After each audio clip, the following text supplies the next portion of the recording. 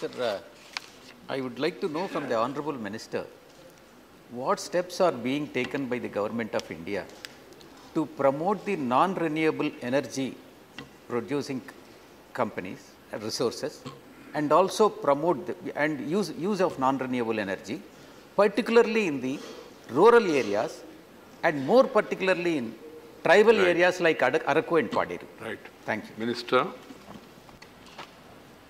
Uh, Honorable Chairman, sir, in the past four years, we've added about 34,000 megawatts of renewable energy generation capacity. The- Currently, our renewable energy generation capacity is 71,419 megawatts. Apart from that, uh, LOI has been issued, that means uh, the work order has been given for establishment of 16,000 megawatts and another 28,700 megawatt capacity has been tendered out. All this totals up to 1,16,000 megawatts, which have either been established or are in the process of being established. Uh, so therefore, uh, renewable energy capacity we are adding, and we are adding at a fairly fast pace. The target we had set for ourselves was that we will add renewable energy capacity of 175,000 megawatts by 2022. We will reach that target quite comfortably.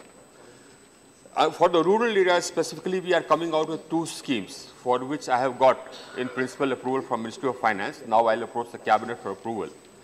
One scheme is actually an expansion of a scheme which we already have, and that is for solar pumps for farmers. We already have a scheme, but Right, I'm right. coming out with a much Brief, larger brief. scheme. Under that, brief. Uh, yes.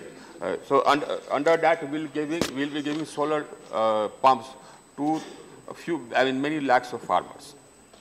Apart from that, we are coming out of the scheme whereby the farmers can use, utilize uh, their fallow land, land under, on, on which nothing else grows, for they can give it out for establishment of small solar plants.